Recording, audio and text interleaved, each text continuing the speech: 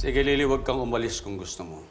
Total, ako naman si Arturo at ang Black Ops ang lahat ng kikilos dito. I'm still a general.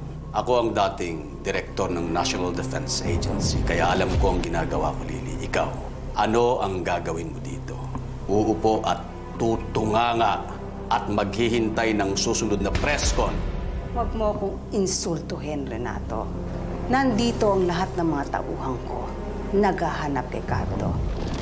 Mauunahan pa kayo. Ibig mong sabihin, Lily, gagamitin mo ang mga tao mo sa sindikato para resolbahin ang krisis ng bansa. Kahit ano pa ang sabihin mo, Renato, kakailanganin ng presidente dito.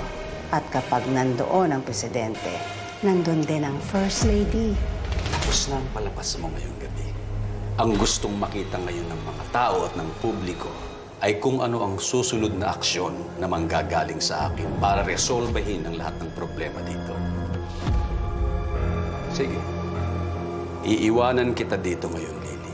Pero pag nilay-nilayan mo yung sasabihin ko sa'yo at sinabi ko sa'yo, tutunganga ka lang dito.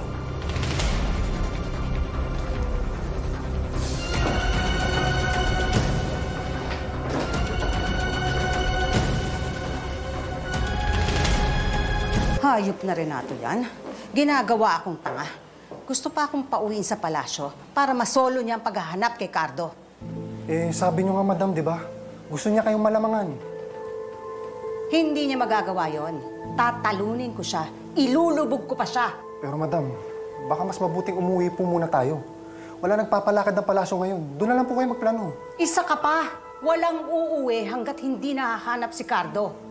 Kapag nahanap na si Cardo, dapat nandito ako para humarap sa press.